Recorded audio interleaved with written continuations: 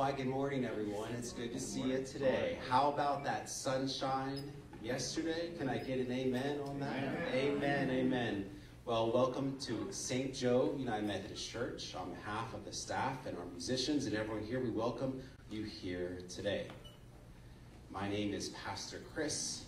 I've been following Jesus my whole life, but about a decade ago, I said yes to serving in ministry. And ever since then, I've been a pastor we welcome you today.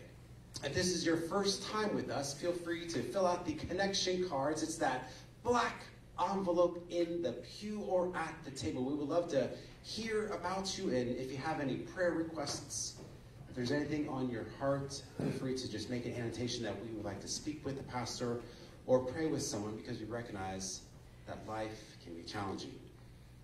Or if that's not your style, if you're tuning in online, we welcome you here today. Or if you will be seeing us later on, we welcome you to our service. Our church is committed to getting to know each other. That's right, you heard me. We are committed to getting to know each other. And what that means is we need your help. In this pew, you'll see one of these things. Pray tell, do me a favor pick these up.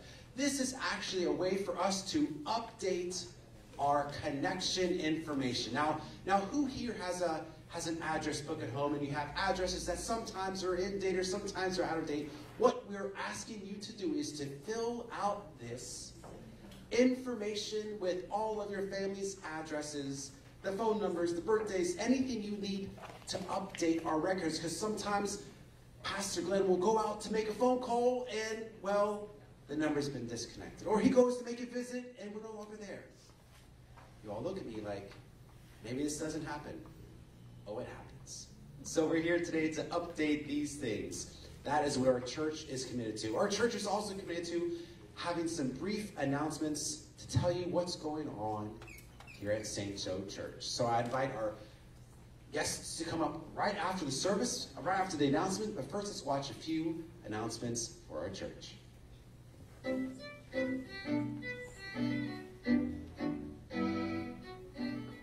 Good morning. I'm Ashley, campus pastor of St. Joe's at the Y, and I'm so excited. Bob, Bob, what are you doing? I am getting ready for the fourth Saturday. Okay. See Okay. this here thing? It's a rake. And we need people to show up with rakes, maybe leaf blowers, Okay. all kinds of yard tools, leaf limb loppers, and uh, things to just generally clean up the yard with tarps so we can move leaves around. We are heading to Georgetown. Awesome. We did this the last Saturday in September. We had a great group show up. We got a lot accomplished in two and a half hours. The same thing today, or this Okay. coming Saturday, the 28th. And they're going to meet here, right, at 8.30? We're going to meet here at 8:30 Okay. for coffee and donuts. All right. So That's an enticement to get the guys out. And the ladies too. And by the way, if enough people show up and we have time, we're going to wash this lady's windows. all We're going to do the outside, and it's all accessible from the ground, maybe with a step ladder. So that's our plan. And Larry Ewing, who is my partner in this thing, has researched this individual, and she's a worthy case. Fantastic. I'm so excited for that. And you've got another announcement. Oh, I do, morning, I you? Hang on, I gotta put my, my yard tools Change down. your hat and. I uh, wanna talk about the keystones. okay. I think a lot of the guys and the gals know what a keystone is. It is the rock that goes in the center of an arch. It holds it together and makes it strong. Well, we are the keystones for St. Joe Methodist Church. We're a group of individuals, 55 and over, who have been commissioned to see what we can do to energize the seniors in our church. We've had activities already. You've probably seen them. Uh, we've had Pickleball, right? Pickleball, gee, I just had Genealogy. Genealogy. Jeff is teaching a genealogy class. We have a dinner theater coming up in in uh, November, and uh, we have an enhanced visitation right now that has become very successful for shut-ins, ladies and men that can't get out.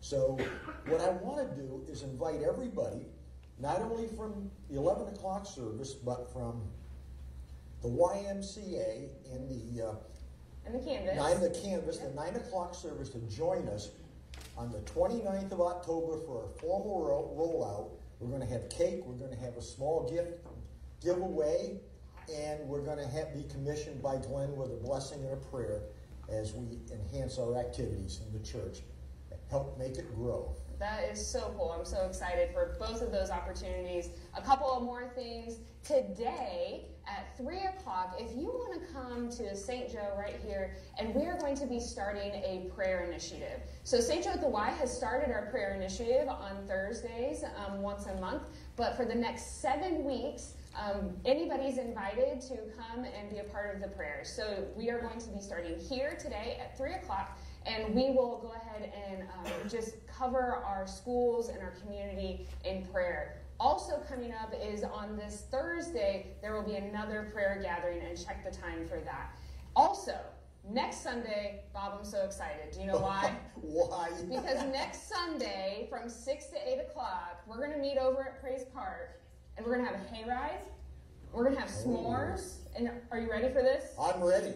We are going to be chucking pumpkins. Ooh. We have a, a catapult built, and we are going to launch pumpkins. And we're just going to have a good time. We're just going to have a lot of fun and build relationships and laugh and be together. And so, anybody from any campus, any worship service, come on out next Sunday, the 29th, from 6 to 8. Bring your own pumpkin if you want to launch it. Will there be a contest to see who goes the furthest? I don't think so. But we're just gonna have fun anyways. Don't bring a giant one. We haven't built that big of a one. Just bring a you know medium sized little ones, and we're just gonna have a really great time. Oh, boy. That's just you know part of building relationships and being for the fort is being together. So we are so excited that you're here today. Welcome to worship.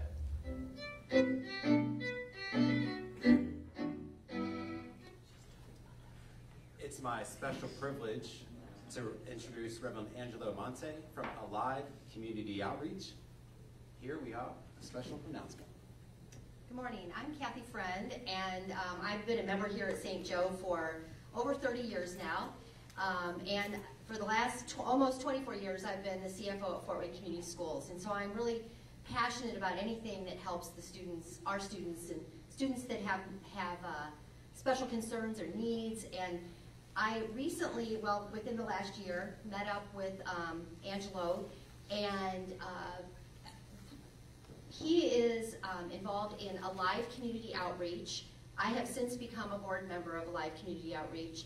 And they have a program that he's going to tell you about here in a second um, that is helping students at Southside High, Southside High School. And um, I, I discovered this program. I attended an event at Southside, which was a um, prayer vigil that had um, there were they have a flower wall there that represents people that have been murdered in our country, and it really just touched me when I went to that event. And um, as I learned more about it and became more acquainted with Angelo, I discovered how important this organization is to providing peace in our community. And so Angelo is going to tell you a little bit about something that we're doing at Fort Wayne Community Schools right now that he's involved in. Good morning, y'all. How you doing?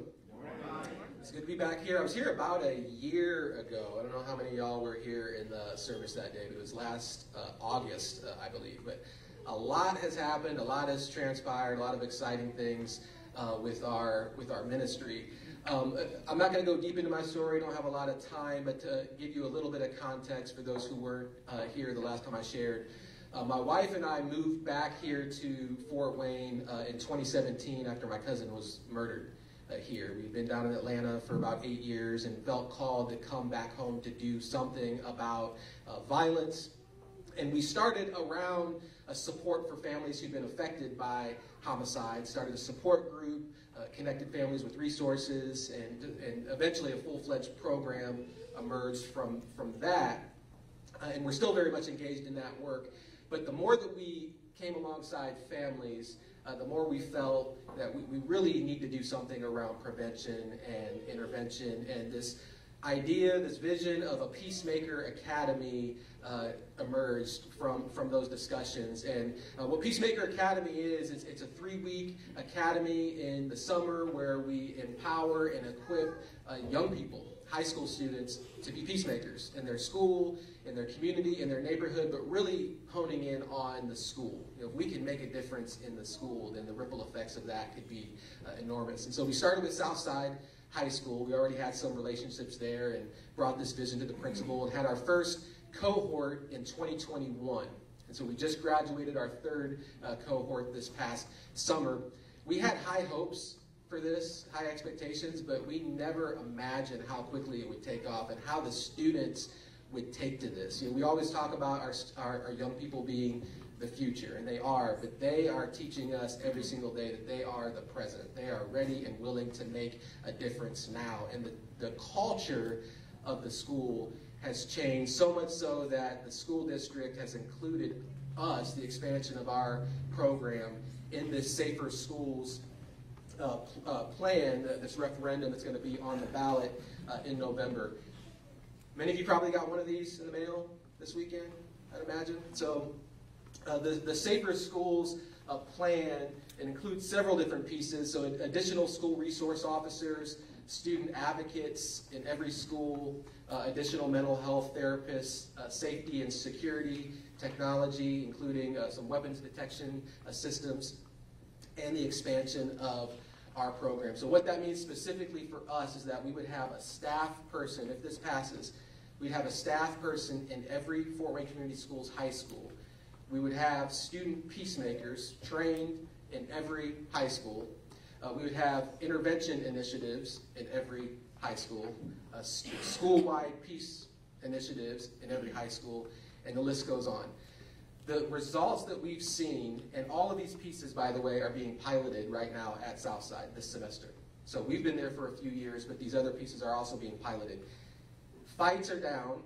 We just got the first quarter data last week. Fights are down over 30% from last year. Tardies are down 89%. I thought that was a typo the first time I saw it. 89% uh, tardies are down. We keep track of days of peace, so consecutive days of peace, and 10 days consecutive is a big milestone for us. And uh, our, our students achieved that three times all of last year, three con consecutive streaks, three distinct uh, consecutive 10-day streaks. First quarter this year, they achieved that twice, just in the first quarter alone. And so the culture is changing at Southside High School. And so we are really excited about this, about the, the prospect of not just expanding our program, but all of these additional much, re, much needed resources in, in our schools. And so what can you do to help? So the, the two things right now uh, that I, I would ask you to be prayerful about are uh, to, to spread the word, to educate yourself on this if you haven't already. So there's a website up, so uh, saferfwcs.com. So it tells you all of the different pieces and explains the different parts of, of the, uh, what's going to be uh, part of this plan. But then the other piece is if we expand, we're going to have to expand our volunteer base. We have this really cool initiative called the Peace Grannies and Grandpies, if y'all have heard of that. At Southside, it's turned into the Peace Families. we have it's been mainly retired folks, but we have uh, lots of others who are joining the, those efforts of volunteering in all kinds of ways at Southside High School. Well, I've talked with, with Pastor Glenn about uh, the need to have some anchor churches really anchor our work at each of the schools. And we talked about the possibility of maybe St. Joe uh, helping out at Northrop, or maybe it's another school. But we, we, we don't want to spread the group too thin that we already have. We want them to dig in deeper at Southside. But we're really going to have to do that. So we wanted to bring this to you before the election, uh, before that happens, so that even now you can be prayerful about that. That if this does pass, we're going to really have to hit the ground running in January. And if, if being engaged in the school, going to lunch, uh, spending time with kids, and being a part of this peace movement at Northrop, or maybe it's another school, um, if that's something that, that God is, is calling you to, uh, we certainly would love to have a conversation about that. And so that's all I have. I'm going to be in and out. We're going to uh, the, the second service here, but I'll be back here after that. But we'd love to have some further conversations with you if you have any questions. Thank you, God bless you. Thank you, guys. Well, let's take a few, sorry, a few minutes to meet and greet each other, and we'll invite the worship team up to get ready. So we'll say hello to everyone and say it's good to see you this week. And we'll get things right, squared away.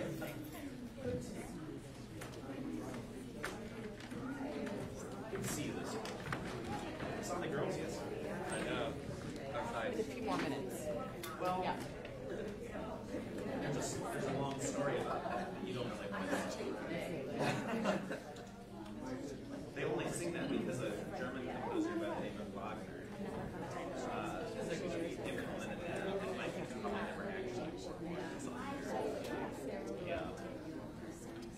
Glad, gladly do your questions. Since you guys are leaving at like twelve, I can't go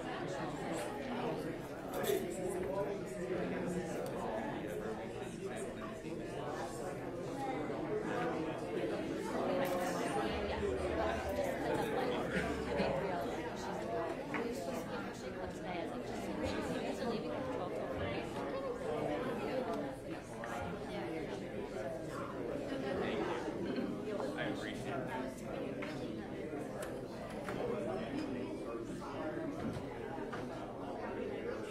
You should be, you should be an encourager. You would be a great encourager.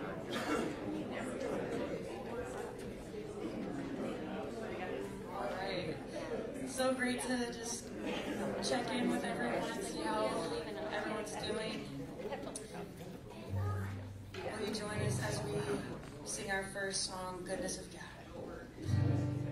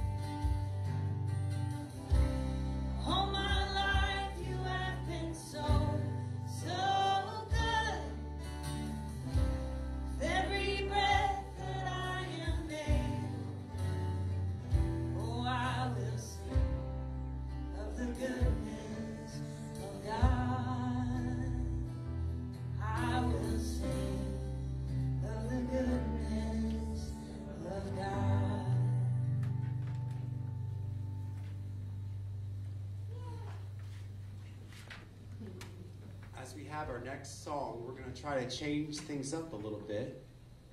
It's one thing just to talk about how we're going to be peacemakers and how we're going to be fearful and fruitful. It's another thing to pray about it.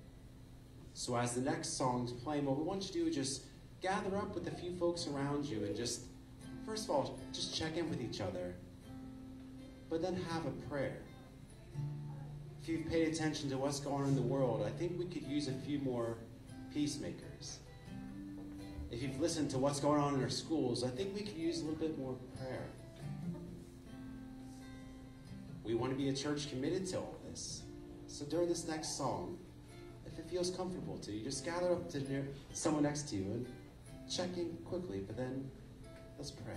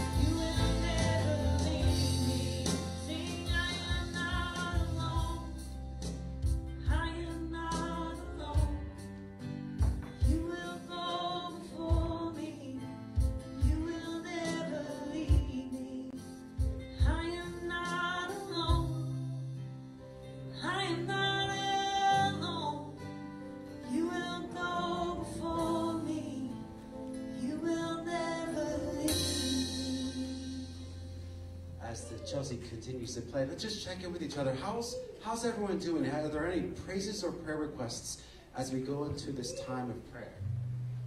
Anything to uplift? We heard a great thing this morning about prayers for peace. I think we could use a little bit more of that. How's are we doing this week?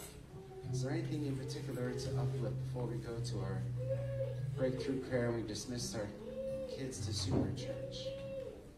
Chris, I want to I want to give praise for uh, 873 children that came through trunk or treat yesterday. Taya, Miss Taya's worked very hard on that, and Pastor Ashley too, and a lot of other folks. But 800, yeah, let's give that a celebration.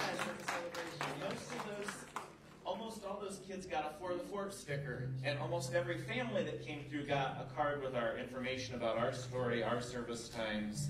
And it was almost 10,000 pieces of candy. And I know we had a little more candy even come in this morning. You bet. That's going to go out to kids and level up as we get close to Halloween. And we've been having a great crew for that. We're just celebrating our four families stuff. Amen. So thank you. Praise God. Amen. Anything else? Praise? Yes, of course, of course. We should offer prayer for this whole Mideastern uh, situation. Yes, yes. Prayers, of course, for everything going on in the Middle East. It is. And it's a mess. Prayers. Yes, yes, in the back. Yeah.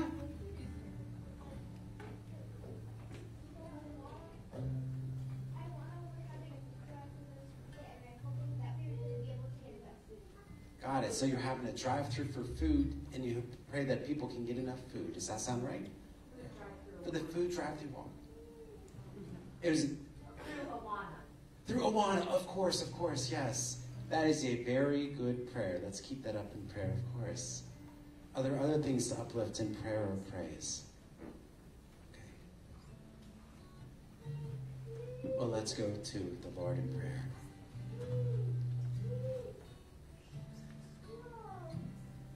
Dear God, we come before you as a humble church here, seeking your presence and guiding and guidance in this ever-changing world. Lord, we lift our voices to you, knowing that the prayers are the source of our strength and wellspring of our faith. So we come to here together, Lord, asking for unity within our congregation, unity within our city, unity within our nation, and unity within our world. Lord, we pray that all can be loving and inclusive and community, welcoming all those through grace. Lord, let the church be a beacon of hope and acceptance, living out the teachings of Jesus Christ in our daily lives. Lord, grant the world leaders the wisdom to navigate these challenges that we are seeing right now in the tensions between Israel and Palestine. Lord, and as the world watches, we ask you to look over those who are marginalized and oppressed. Lord, to engage the works of justice and compassion. Lord, may the Holy Spirit be inspiring of an advocate to protect those, the vulnerable, in this fractured world. Lord, bless our leaders, bless our pastors, give them this gift of discernment and courage and deep sense of your calling. May they be faithfully shepherding the flock here, leading us to a spiritual growth and transformation. And Lord, we also come here today with the burdens so heavy on our heart for those who are hungry in our congregation, for those who are hungry in our city, Lord, those who are victims of violence in our city, Lord, ask we ask your Holy Spirit to be with them and bring comfort and healing and hope to those in need. And as we look towards the uncertain future, Lord, help us to trust in your plan and purpose for our lives in our church. Right here for this campus, Lord, we ask you to break into this space and fill our hearts with a, a hope and inspiration of what this service should be as we need to transform it to witness to our ever changing community, Lord.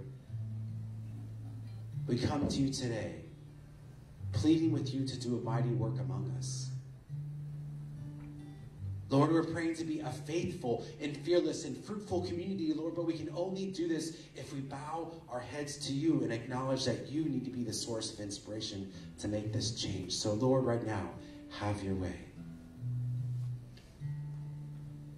We ask this prayer in the name of Jesus Christ, to the glory of God the Father. Amen. Amen. Amen. Allow the kids to go to Super Church and let me say a little song before everybody comes up. me, Chelsea.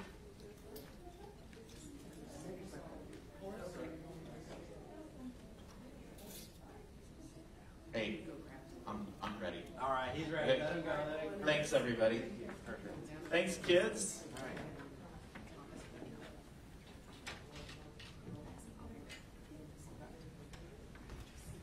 Let's pray.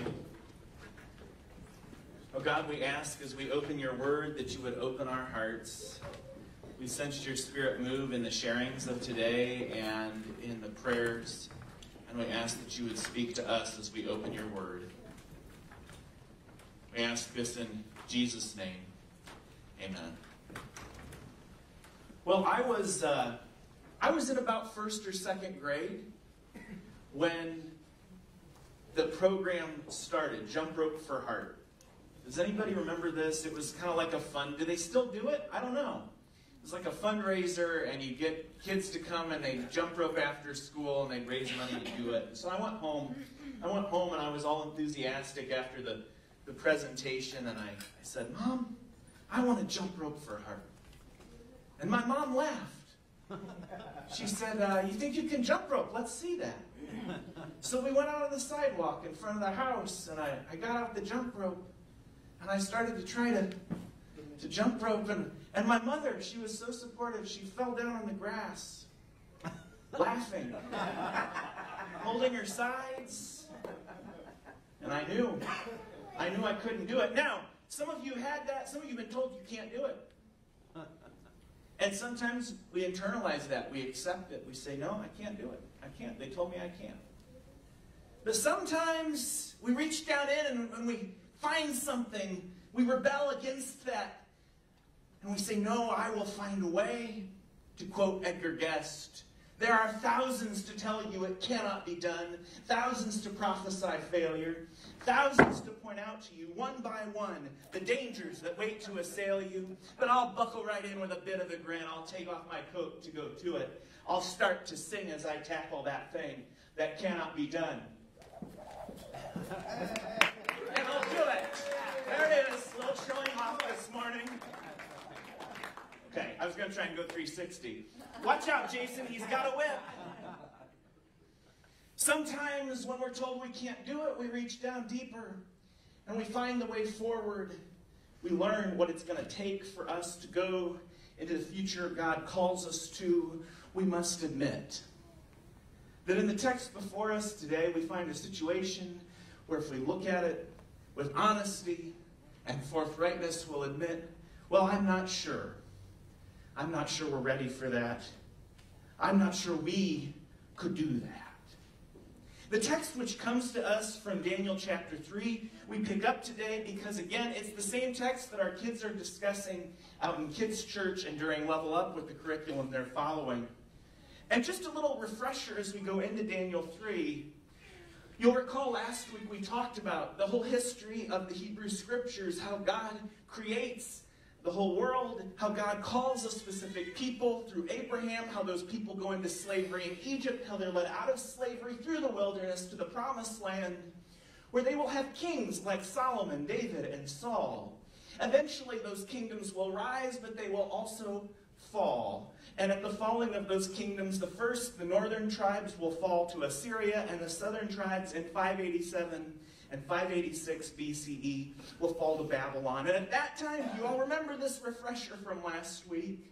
At that time, the cream of the crop, the elites, the landed, the educated, the young, are hauled off to Babylon in modern day Baghdad and near modern day Baghdad in Iraq.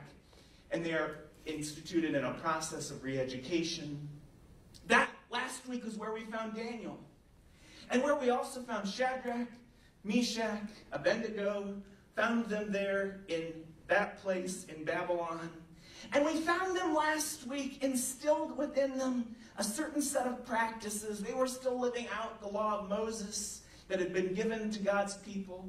When the great buffets were brought before them, they stuck to vegetables and water. They stuck to habits of prayer that we read about in other places in Daniel's text.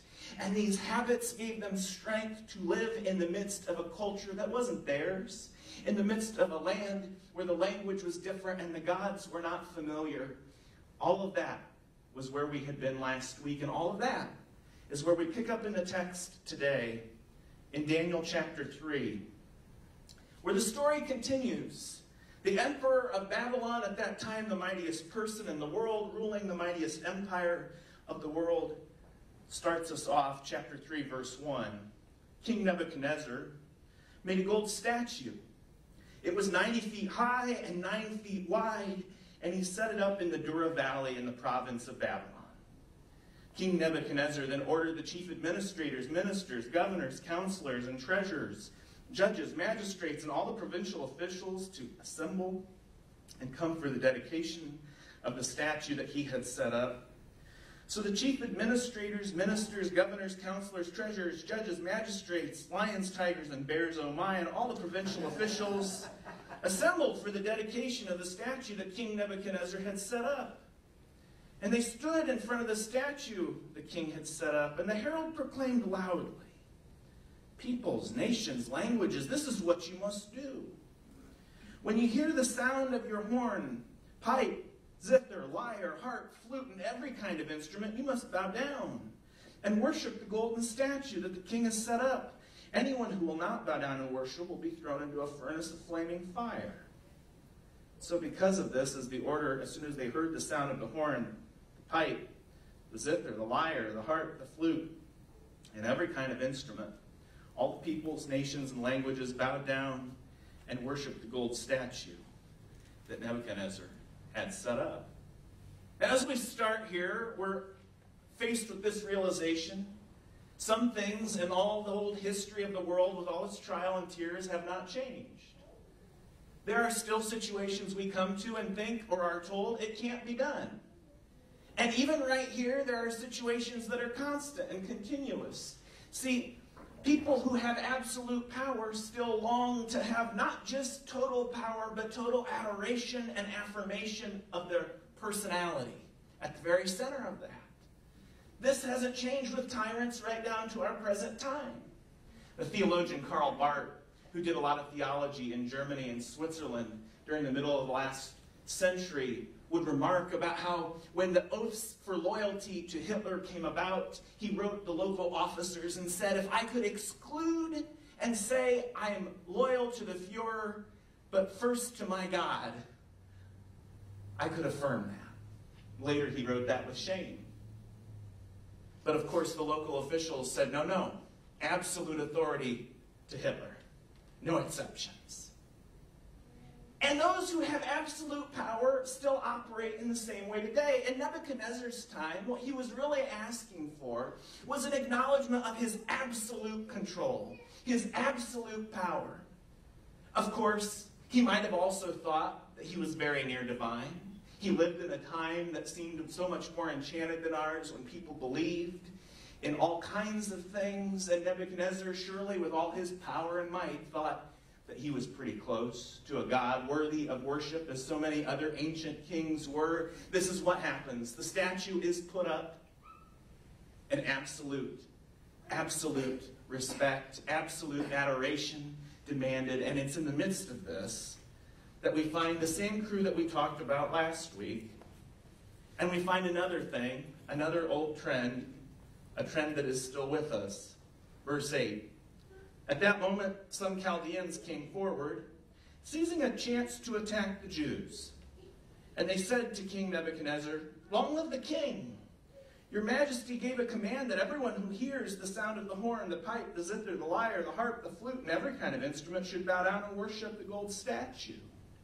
And anyone who wouldn't bow down and worship would be thrown into a furnace of flaming fire. Now, there are some Jews, some who you appointed to administrate the province of Babylon, specifically Shadrach, Meshach, and Abednego, who have ignored your commands. They don't serve your gods, and they don't worship the gold statue you've set up. So, if those in authority who demand absolute fealty are not a new phenomenon. If they too are still with us, so too is the phenomenon of picking out one group, one small group, and blaming them so that others can climb in power. And of course, the phenomenon of anti Semitism is not at all new, nor is it all extinguished in our world. We see that present here in the text. Nebuchadnezzar predictably, is not happy for he had demanded everyone worship. He had demanded everyone acknowledge his power. Verse 13 In a violent rage, Nebuchadnezzar ordered them to bring Shadrach, Meshach, and Abednego.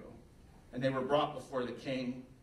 And Nebuchadnezzar said to them, Shadrach, Meshach, and Abednego, is it true that you don't serve my gods or worship the gold statue I've set up?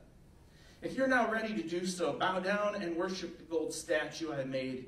When you hear the sound of the horn, the pipe, the zither, the lyre, the harp, the flute, and every kind of instrument. But if you won't worship it, you will be thrown straight into the furnace of flaming fire. Then what God will rescue you from my power? Shadrach, Meshach, and Abednego answered King Nebuchadnezzar. We don't need to answer your question. If our God, the one we serve, is able to rescue us from the furnace of flaming fire and with your power, your majesty, then let him rescue us. But if he doesn't, know this for certain, your majesty. We will never serve your gods or worship the gold statue you set up. Now we know how the story ends. Shadrach, Meshach, and Abednego worshiped the Lord, but the king said no. Into the fiery furnace they were cast, but the Lord delivered from the awful blast. We know that they are cast into the furnace as punishment for their refusal to worship, to bend their knee to this emperor and this king and all of his power and might. And we know that in the midst of the fire, another messenger from God appears, one who appears almost like the Son of God, are Nebuchadnezzar's words. And the young men are brought out, and they're fine. But it's their final sentence that stiffens our spine walks, causes us to walk with a little more courage when they say, Here's the deal.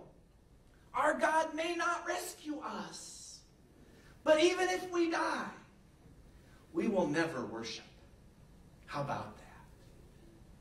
Now, when I hear that, I think I want to be like that. I want us to be like that. People who make a witness for Christ without any ambiguity, without any compromise, of God who has descended into our world, taken on flesh to spread God's mercy and love and peace for all people, without negating even in the slightest the core of that story that Christ has lived, Christ has died, Christ has risen, and Christ will come again for all people. But are we really ready to make a witness like? Are we really up to it? I don't think we can do it. Not like that. Not no matter what comes. Not yet. Not yet. Of course, you sit there and say, Pastor Glenn, we don't suffer the kind of persecution that is lined out here for Shadrach and Meshach and Abednego. We are not under physical threat. And that is true, absolutely true. We should not overstate the case. Christians throughout the West and the United States of America are not physically persecuted. And in so many cases, uh, are, are not even penalized in any way for the practice of their faith. In so many ways, the practice of religion is still free. The practice of our worship and our witness is available to us, yes. The question is can we stand even short of that? Even as the society changes, where we're not at all persecuted, but things change around us, can we still make a stand there? Can we still make our witness there? The philosopher Charles Taylor has described that we live in a secular age, not persecuted, mind you, but an age that has changed. People's relationship to faith has changed, and we've all seen it. First of all, in every state, in every country of the West, religious worship attendance declining dramatically. Can I get an amen? We've seen that. Of course, there are exceptions. There are congregations here and there who figure out how to beat the model. But on the whole, and across traditions, the statistics are incontrovertible. Religious adherence and attendance on decline. It seems that there's less room for nuanced conversations of faith in our public sphere, where folks from different perspectives can have their faith inform the conversation. This is another instance of what it means to live in a secular age. And finally, and perhaps most significantly, this reality is before us that people, most people, don't expect God to show up. The most real thing in their world is the mortgage payment and the score of the football game. And that God would show up on a Sunday morning or on a Monday afternoon or any other time of the week is unexpected, unanticipated. And this is how the world has changed. There's no fiery furnace in store for us, but there is just apathy, indifference, lack of understanding to people who claim that God has done something in the world. Does this make sense? In the midst of that, are we able to even raise our witness then? I'm not sure if we can, unless. Unless we do what they did so long ago, which is develop those habits by which we all encourage one another, by which we learn how to make a witness in an age which is changing. We've been talking about what it means at this congregation for our vision, being for the fort, how we plan to live into that with those values that Chris already named. And we talked last week and through the week, and this week we'll be talking again about the practices, the habits that we live into that give us the capacity to stand and make a witness of faith all together, all at once, in an age that changes. So you'll recall the first value that we described is to, that we want to be a church that's faithfully seeking with one another the call of Jesus Christ through his teaching in Scripture. Last week, we listed the things that were said in all the services. The council talked during the week, and we came up with a few action steps that we could engage in related to that. So here's the next one. What could we do in response to being faithful? What if we all said we could do this? What if we all said we're going to commit to faithfully, we will faithfully worship, engage with others during services? Whoa, Chris, you ask us to do that sometimes. Talk to your neighbor. What if we said, not only will I show up in worship, but I will engage with other people in worship? I'll say good morning. I'll get to know people I didn't know. Amen. How about that? And we'll pray with our church. What if we committed to those habits? What if we collectively did that, developing habits that gave us the capacity for a witness in a changing age? We have our second value that we want to be a church that's fearlessly responding to the Holy Spirit with costly love in real relationships. Again, we listened last week, all three services through the week. The council talked, discerned, discussed, and we came up with some action steps. What have we said in response to that? That we will fearlessly give of our financial blessings to support the mission of the church and serve within my gifts for the sake of our church and community. Think about both of those. What if we all committed to do that? Wouldn't it strengthen the witness we have? Think about service. If we all said, you know what, several times a year, I'm going to personally commit to service, Bob would need more leaf blowers, wouldn't he? Think what would be different and what would change if we agreed to the actions. We've talked about the value of wanting to be for the fort by fruitfully leading neighbors to the transforming grace of God in Christ what action could we come up with? After listening last week and discussing this week, we came up with the action of what if we will allow God to bear fruit by learning and sharing our faith story? Where do you learn your faith story? Well, you probably learn it in a Bible study, in a small group, in a place you can share with other people. Have you ever done that? And has it ever happened that when you do that, somebody says, hey, you know, it sounds like it sounds like God did this through that thing in your life. And you say, Well, I never thought about it like that. And by talking with other people with God's Word open, you start to learn your story. You start to learn who you are and what God's done in your life. And then what if we all committed to sharing that? Here's what God, God has done in my life. We may not be ready to make a witness even in an age that changes, but the habits, if we learn them. What I want to encourage you with is we will become ready. Oh, it has happened that folks have said you can't do it.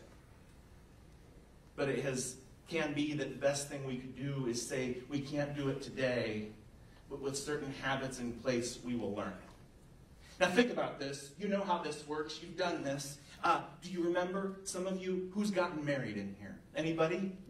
Okay, I see some hands. I see some hands. You stand there you stand there. I knew a lady once, she was getting ready to walk down the aisle, and her father turned to her and said, It's not too late. You don't have to do this.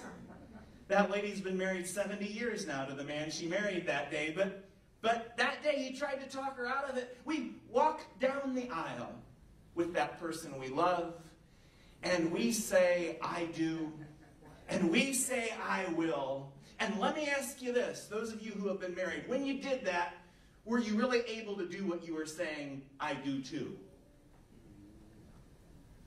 No! you weren't. I don't think. I think what happens is we learn how to do it.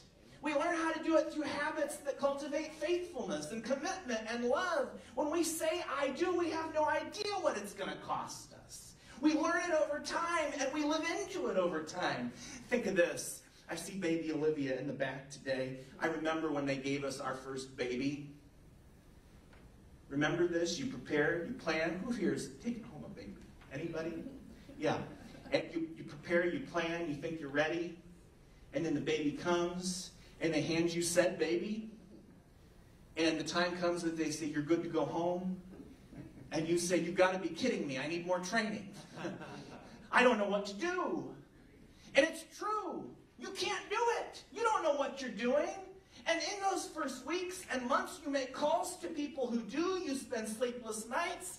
And the truth of the matter is, we never, as parents, really come to the place that we say, Oh, I got it. Nailed. Nailed it. Did it. No.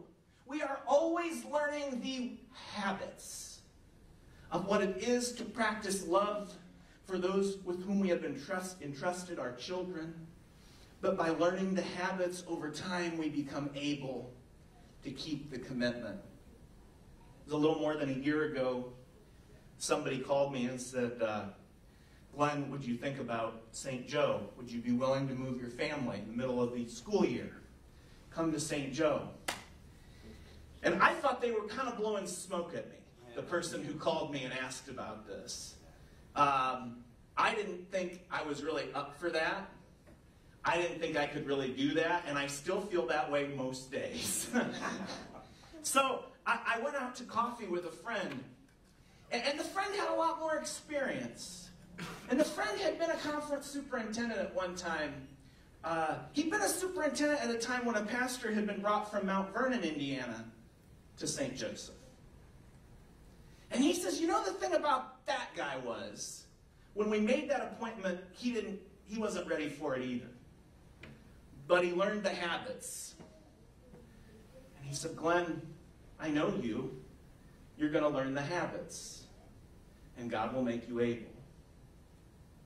At the very core of the witness of faith that we have from the middle of the Old Testament is the conviction that there are habits that shape us, that habits become our character. When we find ourselves confronted by the things that we have been told we cannot do and the things we fear we might fail in so doing, God brings us God's mercy interrupting our life and gifts us the habits by which our character becomes real, by which God's work in the world becomes palpable. Oh, it is true. We're not facing fiery furnace today and probably not any time in the near future. And God's people said, Amen. But it is true we have felt the blast of a changing season, and we reckon with this. Can we as a congregation develop the habits that will help us to make a witness? Will we learn? Can we learn? All I know is I'm here today saying I don't really know how it works, but I'm ready to learn. Are you? I'll wait for the rest of them, Will we learn? Will we experiment? Will we try? Will we develop the habits that make us capable of making a witness? A world in the midst of a world which is violent and torn by strife and which so desperately needs a witness of the God of love. Will you learn with me? Can we learn together? And in so doing, can we do the thing that we might have been told can't be done, that we might have believed could not be done?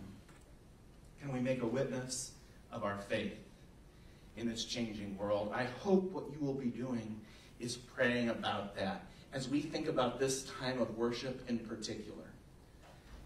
There will come a time that we'll talk about chairs and carpet and stage.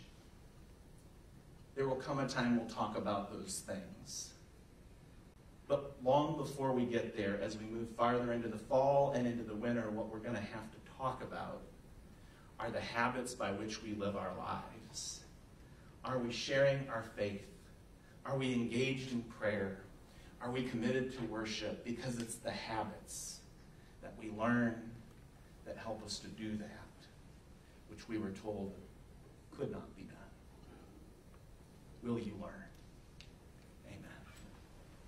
Let's invite our worship team up. And I'm just going to ask in prayer. Let's pray as they come. Oh God, we ask that you would pour out your Spirit on us and help us to comprehend all that we must learn and the habits we must form as we, as your people, move into your future. We admit the challenges, and yet we acknowledge, God, our hope and trust in you. And our willingness to learn those things, those habits, commit to them so that we might learn what it is to live in a way of love for others, in a way that we can make our witness no matter what may come.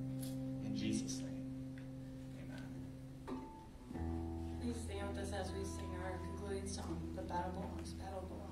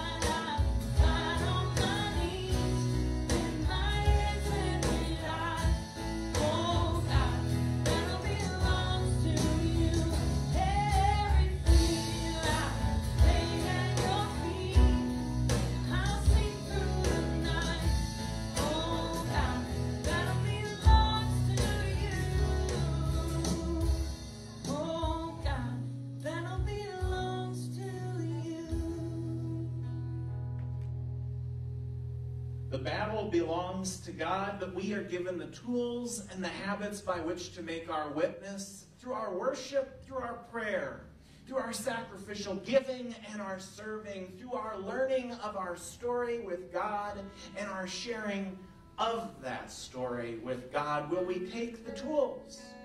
Will we learn together? Will we see ourselves transformed and make a witness of our faith in an age which changes? Oh, maybe we can't.